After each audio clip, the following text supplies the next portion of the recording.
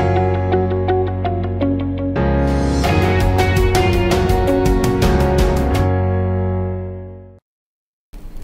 Le fonti Instant Focus ancora ben trovati sulle fonti tv e allora tanti eh, spunti in questo nostro approfondimento eh, della giornata a partire da quello che vedete scritto in sovrimpressione. Gas russo, Eni aprirà due conti e ci chiediamo se il rublo viola le sanzioni anche se ci sono già diverse posizioni eh, che sono arrivate da parte dell'Unione Europea. Allora giusto per fare un riepilogo da questa settimana scatta l'obbligo imposto da Gazprom è stato trovato appunto questo escamotage, le aziende dovranno mettere per iscritto che hanno pagato in euro e in dollari, questa è una richiesta eh, della Unione Europea, ma le autorità di Mosca provvederanno alla conversione in moneta locale. Ricordiamo che il Cremlino ha proprio imposto l'obbligo di saldare gli acquisti di gas non più in euro e in dollari, peraltro come era previsto dai contratti che erano stati stipulati e eh, firmati, ma ehm, in rubli. Eh, perché? Perché questo è un modo sicuramente per sostenere la moneta locale, di conseguenza l'economia che è stata colpita dalle sanzioni appunto volute dall'Occidente da quando il conflitto in Ucraina è cominciato. Peraltro il rublo è al momento una delle migliori valute del 2022, da inizio anno c'è stato questo rialzo di oltre il 12% sul dollaro, eh, il surplus commerciale però è a 96 miliardi, infatti sulla bilancia bisogna mettere ovviamente da una parte il potenziamento se vogliamo della valuta locale anche in seguito a queste imposizioni da parte del Cremlino, dall'altra parte però tutte le sanzioni che ovviamente vanno a colpire il cuore dell'economia russa, quindi insomma forse i conti bisognerà farli eh, tra un po'. Gazprom ha spiegato che della conversione si occuperà un'agenzia terza, non sottoposta a sanzioni e da parte sua l'Unione Europea ha chiesto alle aziende una dichiarazione in cui mettere per iscritto chiaramente che intendono adempiere ai propri obblighi ai sensi dei contratti esistenti e considerare i propri obblighi, questo è proprio il virgolettato, contrattuali relativi al pagamento già adempiuto pagando in euro e in dollari in linea con i contratti esistenti. Insomma la domanda, intanto vado a salutare anche il mio ospite, eh, Alfredo Luis Somoza, presidente ICEI, grazie Alfredo per essere eh, con noi oggi, buongiorno. Buongiorno Manuela, buongiorno a tutti i telespettatori. Allora, la domanda dopo questa lunga premessa, ma insomma in cui abbiamo un po' eh, riassunto la situazione, è eh, chi ha vinto, chi ha perso in questa partita del gas, secondo te? Partiamo da qui con tutte le riflessioni del caso. Beh, diciamo che eh, era logico, visto che noi siamo, cioè noi Europa, siamo coloro che stiamo pagando lo sforzo di guerra russo, perché diciamo che il flusso più importante di valuta in entrata della Russia è quello proveniente dalla bolletta energetica che continuiamo a pagare, era giusto secondo la, diciamo, la, logica dei russi, e noi abbiamo dovuto assecondarla, eh, sostenere anche la loro moneta, perché con questo sistema noi sosterremo la, la salute del, del, rublo. Ma in realtà eh, a me stupisce un po' il dibattito, la polemica su questo tema, perché quel meccanismo del doppio conto è un qualcosa che da 30 anni utilizzano le ONG eh, italiane, europee, che operano in giro per il mondo eh, mm. cioè, le ONG hanno da sempre un doppio conto eh, che è perfettamente legale ovunque, c'è un conto sul quale vengono mandati trasferimenti in euro e quindi tu dall'Italia mandi gli euro, da quel conto eh, la banca converte quegli euro in, in, in, valuta locale e te lo accredita sul secondo conto. Quindi tu in realtà il primo conto serve un po' come deposito tu tieni i soldi lì, questo in paesi dove c'è una grande variazione sulla quotazione della moneta e man mano li cambi passando nel secondo conto che è in valuta. Quindi questo è pacifico, ma noi non mandiamo dall'Italia, le ONG non mandano dall'Italia, eh, non so, la rupia del, dello Sri Lanka, mandano euro, poi localmente avviene questo. Questo meccanismo della, eh, che, hanno, che, hanno, fatto per la, la vicenda del gas è esattamente quella cosa lì, quindi formalmente le, l'Eni o le compagnie che comprano il gas russo continueranno a pagare nella valuta cui, con cui pagavano, dollaro o euro che siano, tutto il resto un giochino interno Appunto. che serve a che cosa? A puntellare la moneta, perché ovviamente la moneta a quel punto c'è, una, diciamo, c'è un, il, il, supporto di questi flussi che sono miliardi, eh? non sono, non no, sono no, noccioline, certo, certo. che sono miliardi che ti tengono, il cost, cioè, ti tengono il valore della moneta alto. Quindi noi diciamo che in questo momento da un lato mandiamo armi, ma dall'altro lato siamo la principale fonte di ingresso dello Stato russo e addirittura siamo coloro che sosteniamo la moneta.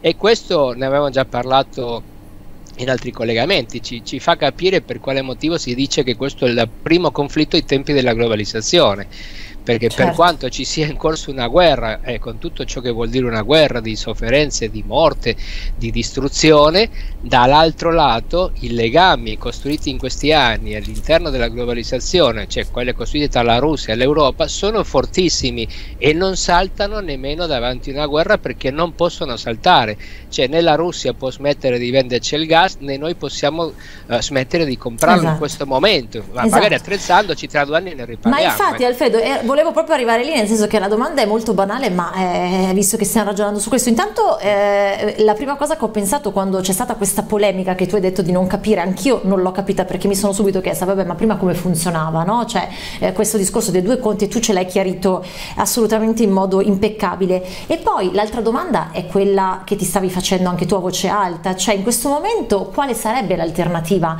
Non possiamo certo rimanere senza gas, non solo noi come Italia, ma insomma in generale in Europa e non abbiamo appunto delle valide alternative che possano compensare poi l'approvvigionamento la, eh, che arriva dalla Russia in questo momento. Quindi insomma è un giochino delle parti, ma è inevitabile in questo contesto e Inevita- inevitabile, ma non è perché non ci sono alternative. Cioè, in tempi veloci non ci sono alternative, ma non soltanto sul settore energetico. Guarda che eh, in questo momento sta succedendo delle cose, di una che avevamo anticipato, per fortuna si comincia a parlare, e forse quella più grave, è il tema della sicurezza alimentare. Cioè già in tutto il mondo comincia a sentirsi il peso dell'uscita dell'Ucraina come paese esportatore di grano e di, e di oli.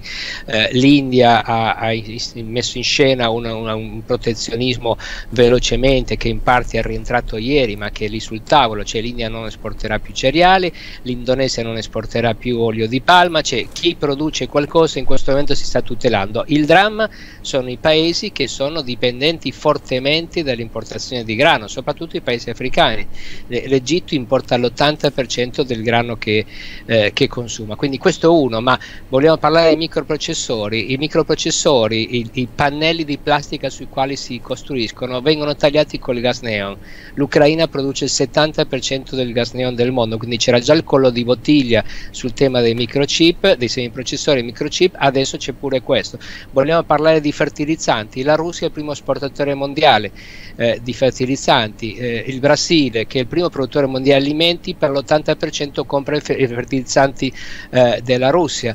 Vogliamo parlare di industria metalmeca- metallurgica mm, in sì, Europa sì. e i semi lavorati, la ghisa eccetera arrivano dalla Russia e dall'Ucraina, quindi è, è, una, è una, una, un problema a catena che sta, sta diciamo, investendo interi settori, per non parlare dei settori dell'export italiano che non possono più esportare, penso al distretto del mobile della Brianza, al settore calzaturiero. Assolutamente. Quindi è, è, un problema così grande che la guerra veramente è, è l'elefante nel, nel, nel, tra i cristalli. Perché, perché va, a rompere, va a rompere delle cose che sembravano ormai che non potessero più succedere, cioè quando tu ti leghi con un gasdotto a un paese de- dovresti essere molto sicuro e molto sereno sul futuro nelle relazioni con quel paese, perché non è un qualcosa del quale puoi tornare indietro in pochi mesi, è, è, un, è un, legame fortissimo ed è questa la cifra di questa guerra.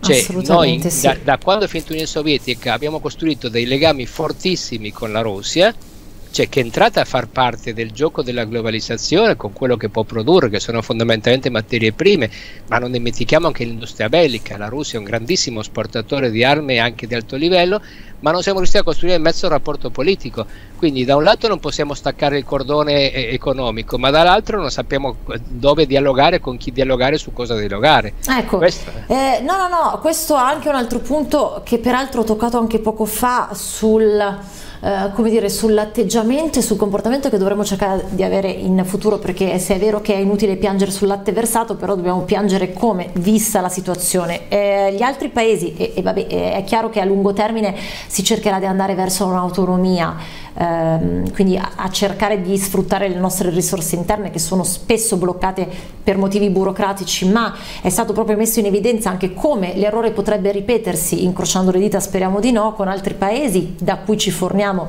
anche oggi Libia, Azerbaigian, Algeria che però sono stati posizionati nella classifica a livello di paesi democratici eh, agli ultimi posti insomma tra, eh. adesso se no, non ricordo tra i 50 ultimi posti insomma comunque rischiamo poi in un, in un futuro di avere altri problemi legati a eventuali situazioni geopolitiche che esplo- possano esplodere come è esplosa questa, no? Eh, Alfredo? Eh, aggiunge, aggiungiamo il Congo che è uno degli altri sì, paesi sì. Che, sui quali ci sono, sì. sono tutti paesi che stanno vivendo già adesso, pensiamo al Mozambico che è un po' la, diciamo, la, la portaerei dell'ENI nell'Africa australe che è un problema serissimo di jihadismo proprio nel distretto gassifero, pensiamo al Congo che è uno stato fallito in mano delle bandi, pensiamo alla Libia che è uno stato fallito in mano delle bandi, pensiamo all'Algeria che per fortuna è un paese fallito ma dove c'è un problema politico grandissimo, sociale grandissimo e la situazione potrebbe scoppiare in qualsiasi momento.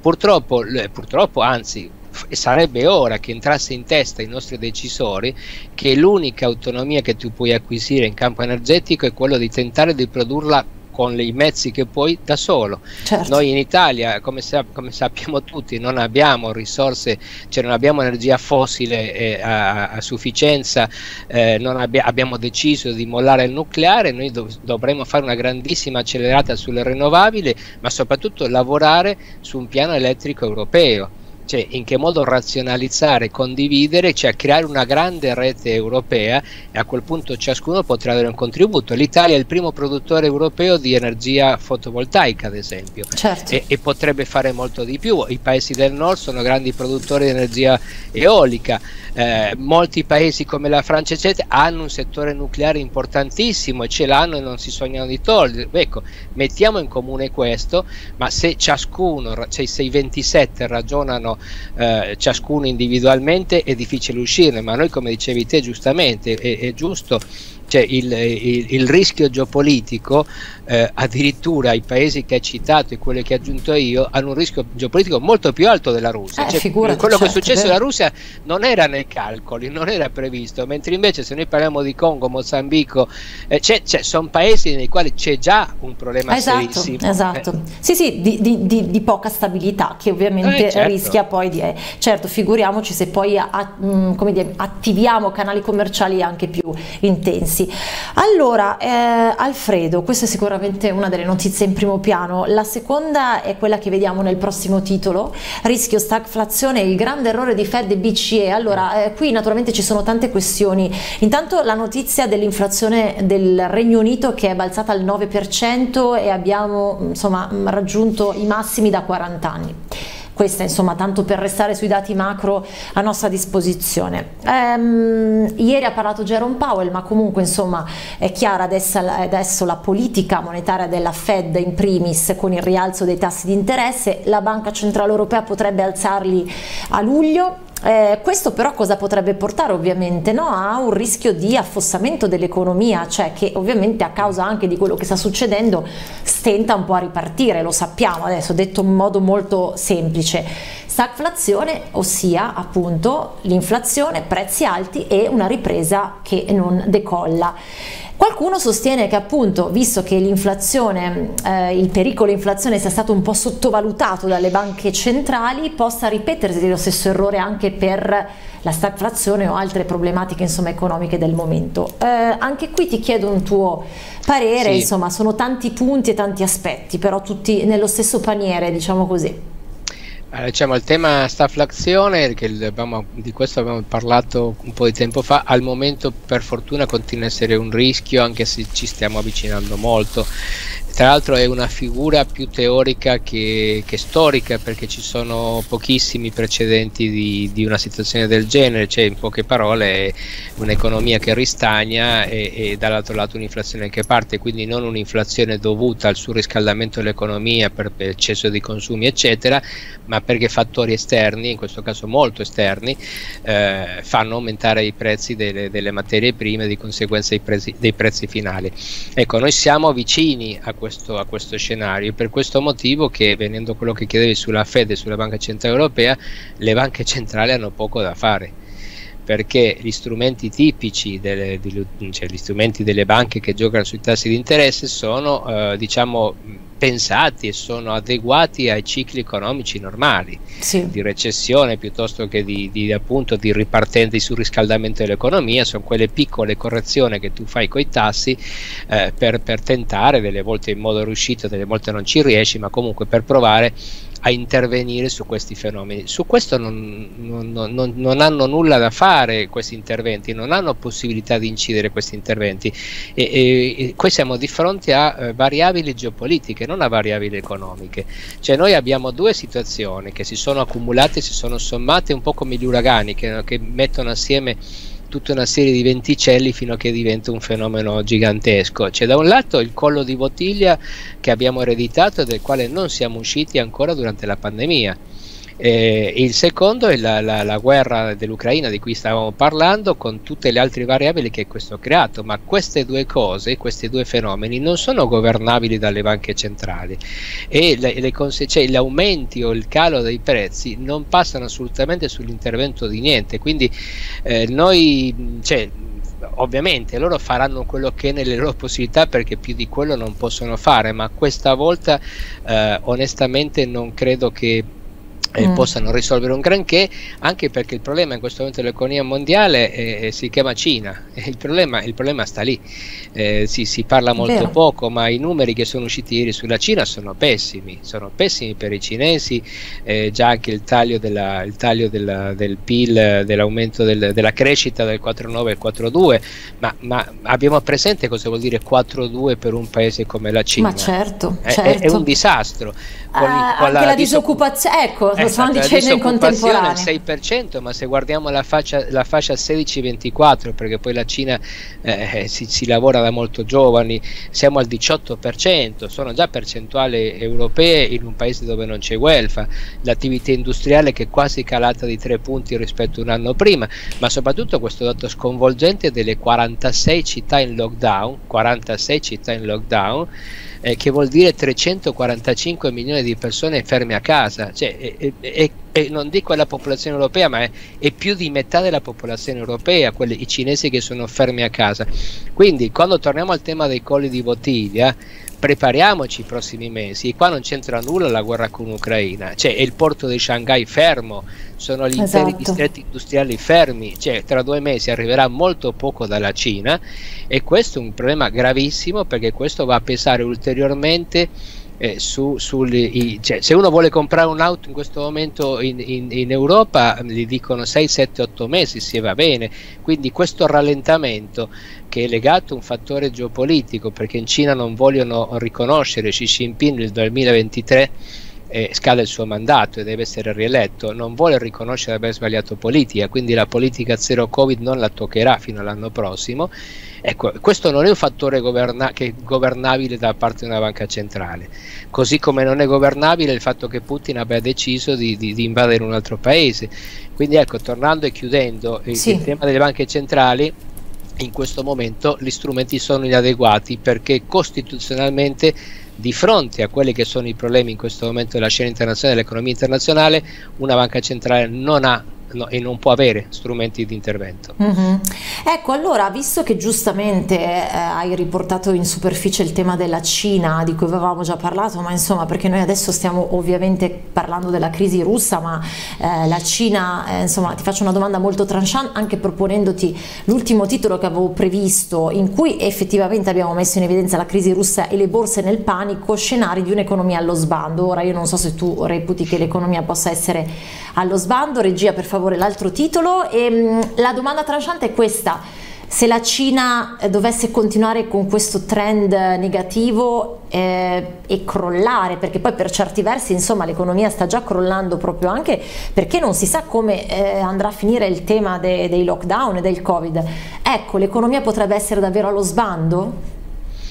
Eh, diciamo che il crollo della Russia mh, mm, non sbanda nessuno se non la Russia okay. e, e, qualche paese che si è fidato troppo di russi perché l'Italia in realtà prende quello che c'è ma la Germania l'ha fatto come scelta eh, ricordiamo che la Germania c'è una lobby importantissima pro-russa, addirittura Gerhard Schröder, l'ex primo ministro e consulente di Gazprom da anni, quindi c'è chi se l'ha cercato e, chi, e c'è chi pagherà, però parliamo di danni molto limitati.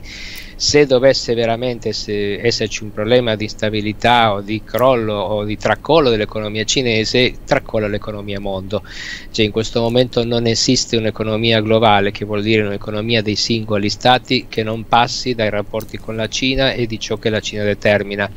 Eh, il processo di trasferimento non soltanto di, di know-how ma di lavorazione, di processi industriali complessi, ma anche, anche, dal punto di vista finanziario che è stato fatto nei confronti della Cina negli ultimi 20-30 anni, se noi togliamo in questo momento quel, quel protagonista, eh, io credo che andiamo oltre lo sbando, credo che veramente siamo all'anno zero e dobbiamo ri- capire come, come ripartire perché verrebbe a cadere tutto il sistema di filiere mondiale, perché tutto il sistema di filiere mondiale delle materie prime e dei prodotti manufatti passa attraverso la Cina e questo un po' l'abbiamo scoperto con la pandemia, ma passa da lì, quindi noi dobbiamo tifare seriamente, tifare sul serio eh, perché eh, alla Cina le cose vadano bene, eh, magari imparare, e anche questa è un'altra lezione che dobbiamo imparare, mm. non soltanto il tema dei gasdotti, ma il tema delle diciamo, della ricostruzione di filiere un po' più corte e soprattutto di, del controllo dei settori strategici, cioè invece di spendere tanti soldi delle volte buttati via per aria, ecco, magari pensare degli incentivi molto mirati per riprenderti una parte delle, eh, dell'industria strategica o del controllo delle materie prime, ma allo stato dell'arte noi siamo a mani nude davanti a questo problema, eh certo. per quello, ripeto, eh, dobbiamo tifare perché i cinesi le, le cose vadano bene. Eh, sì, sì, sì, sì. Mm cioè, affascinante in senso purtroppo negativo il, la visione di una sorta di anno zero da cui eh, dovrebbe ripartire mm. tutto. Per certe cose lo è già, nel senso che come dici tu, poi tutti sì. appunto i rapporti commerciali, materie prime, eccetera, bisognerà come dire rimodulare un po' tutto, sperando che poi non precipiti anche l'altra, l'altra situazione che è quella che abbiamo descritto con la Cina. Grazie Alfredo Luis Somosa come sempre ehm, per la collaborazione, ti seguiamo su sui tuoi canali, insomma, sempre attivo e a presto sulle fonti TV. Grazie a te Emanuele, buona continuazione. Grazie.